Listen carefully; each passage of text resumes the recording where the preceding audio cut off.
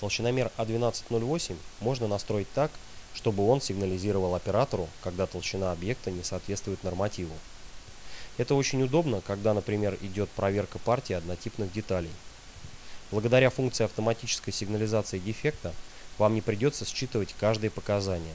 На объектах, толщина которых не выходит из заданных вами границ, показания будут отображаться в обычном режиме белым цветом.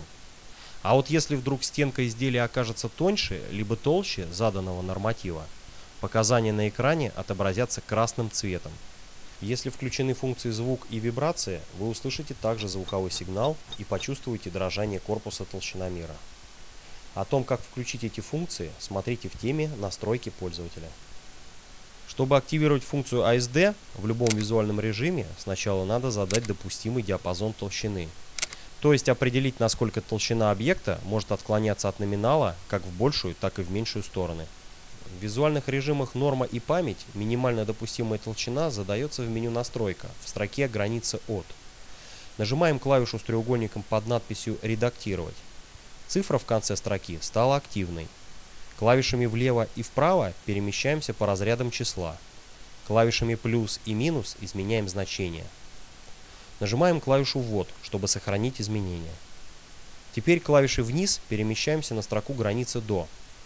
Здесь мы задаем максимально возможное значение толщины.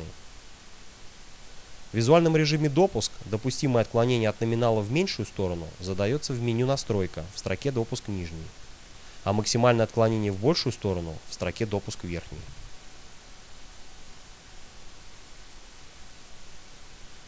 Чтобы активировать саму функцию автоматической сигнализации дефекта, сокращенно ASD, переходим на строку ASD и нажимаем клавишу с треугольником под надписью «Снаружи».